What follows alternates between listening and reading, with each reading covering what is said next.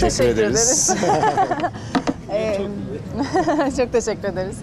Ee, evet, bir- özel bir proje.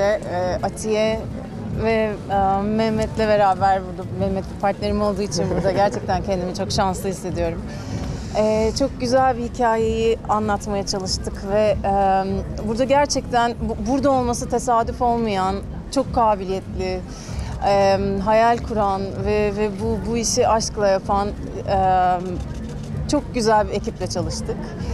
O yüzden heyecanlıyız. Bir yandan da yaptığımıza güveniyoruz. Netflix'in bize özgür bir alan sunması ve onların güvenini arkamızda hissetmek de çok özeldi. Geldiğiniz için teşekkür ederiz.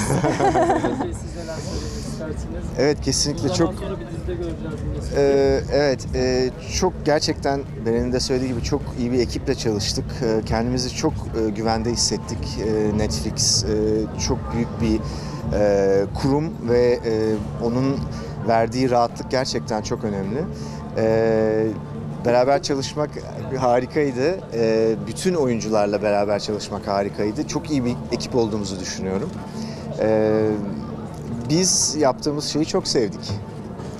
Peki ilk senaryo elinize ulaştığında neler hissettiniz Beren Hanım önce size sormak istiyorum. Senaryo okuduğunuzda Göbekli Tepe'ye gideceğinizi öğrendiğinizde neler değişti sizde, neler gelişti kafanızda?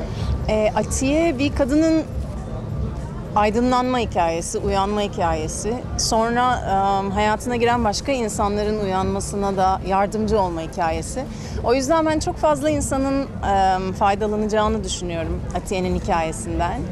E, Mehmet'in oynadığı Erhan karakteri de bu işte Nemrut Dağı gibi, Göbekli Tepe gibi böyle tarihi mekanlardan geçerken bizi bilgilendiren arkeolog bir karakter. O yüzden seyirci için o karakteri de çok önemli olduğunu düşünüyorum.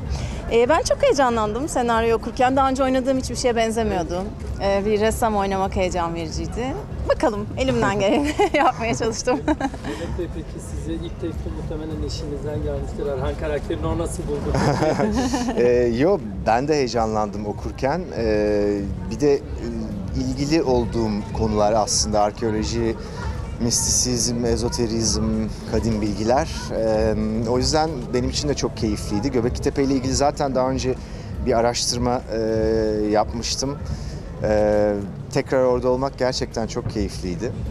Ee, vakit uyanış vakti tüm dünya için sanırım. Ee, bunun da minik bir parçası olabilirsek ne mutlu bize.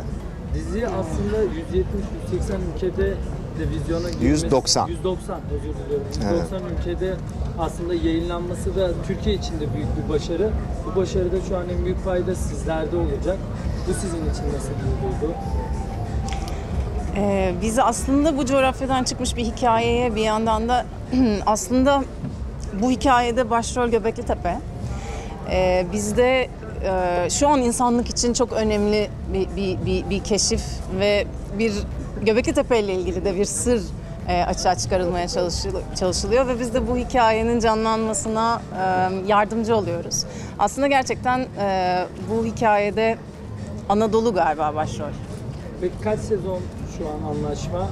İki sezon mu, iki sezon Ee, yayınlanacak? Valla biz iki sezon çektik. Evet, iki sezon Ee, devam. o yüzden iki sezon yayınlanacak. Ee, Geri dönüşüne göre yeni Evet. sezonlarda... Evet, sonrasında evet, üçüncü sezonun kararı artık yayından sonra herhalde. Ya da bir eğitim aldınız mı ressam oynamak için? Evet, aslında e, bu, bu proje özelinde de ama daha önce de üniversitedeyken de birazcık çalışıyordum. Çok e, böyle boyalar, kanvas bunlar yabancı olduğum bir alan değildi ama evet bu, bu projeden önce de. Burada çünkü birazcık daha farklıydı aslında zen tekniği kullanarak e, birazcık böyle bir ressam olarak da Atiye e, alternatif bir tavır getirmesi açısından daha böyle kanvası yerde kullandığı ve böyle bir Japon fırçasıyla resim yaptığı falan başka türlü teknikler kullandık. E, o bir şey gibiydi de bir koreografi gibiydi de falan o yüzden benim için çok çok keyifliydi. Peki Atiye. sonrasında güncel hayatınızda da ressamla adım atar mısınız? Bakacağız. Bakalım yıllar ne gösterecek. Ratinge göre ona da